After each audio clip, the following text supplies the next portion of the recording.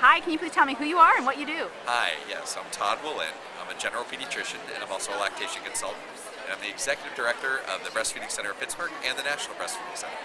Great. Well, what are some of the most significant challenges a new mother faces when she's trying to breastfeed? One of the biggest challenges is that moms often lack support. They lack support from their obstetrician, from their pediatrician, sometimes even their family.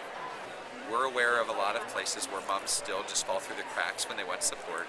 I think it's important for moms to seek out physicians that can really support them in the way they need to be supported, to find out how to breastfeed, find out what they may need to do, what supplies they may want to have available, and really the total picture that they have that support network built up before they have the baby. And what can we do to help a breastfeeding mother? What kind of support can we give her when, uh, when she's beginning to breastfeed? I think it's important to recognize that it's not always going to be right off the bat easy.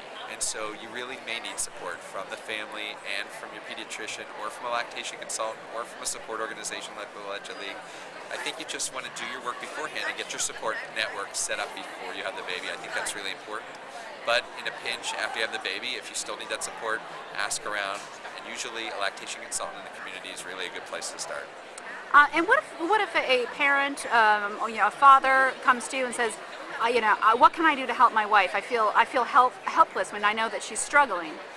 I think a great place for dads to fit in there is to go to a breastfeeding class or a sect or a series of breastfeeding classes before the baby's born with mom to understand what their role can be. And they have a lot of supportive roles that they can play, and I think it makes a huge difference to have a supportive dad as well as remainder of the family, grandparents and other caretakers behind mom and helping her out they can.